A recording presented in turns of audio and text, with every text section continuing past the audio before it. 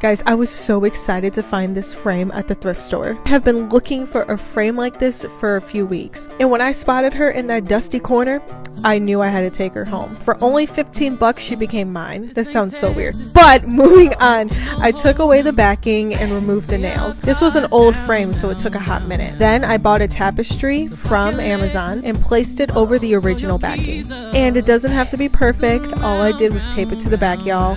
But always pull to keep it taut. And then we threw her right back into the frame, gang. Then sealed her back in with those original nails. This was my foyer before. Now it's getting an upgrade. Boom! After. Do you love it? Because I absolutely love it. Let me know what you think.